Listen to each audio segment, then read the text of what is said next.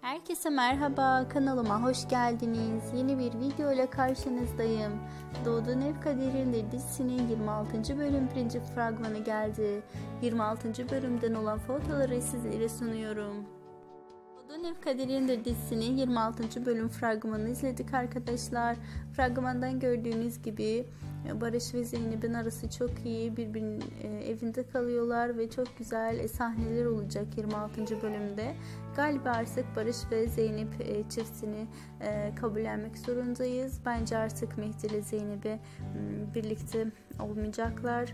Bence Mehdi de Benal'le birlikte olacak. En azından bir kızları var.